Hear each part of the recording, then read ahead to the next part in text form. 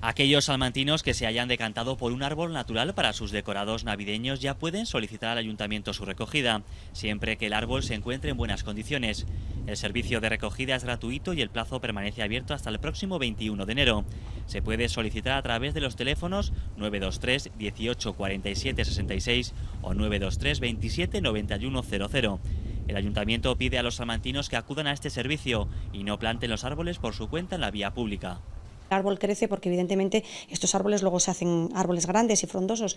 Entonces sí que en algunos sitios estamos teniendo problemas. Lo que sí queremos desde la concejalía es recalcar que por favor que si alguien tiene el arbolito en su casa y lo quiere no quiere hacerse no lo quiere no tiene ningún sitio donde ponerlo en una finquita o en un terreno que no lo ponga a la puerta de su casa y que llame al ayuntamiento de Salamanca a pesar de todo el servicio de recogida es cada vez menos utilizado la experiencia de estos últimos años nos dice que antes se recogían muchos más que ahora. Antes la verdad es que sí que recogíamos bastantes árboles, pero por ejemplo el año pasado hemos recogido creo que han sido nada más siete y algunos estaban un poco peor, un poco más deteriorados y otros estaban bastante bien, que los tenemos allí preparados para trasplantarlos. Ahora en esta época queremos ponerlos en alguna rotonda, pero la verdad es que últimamente se están recogiendo bastantes pocos árboles.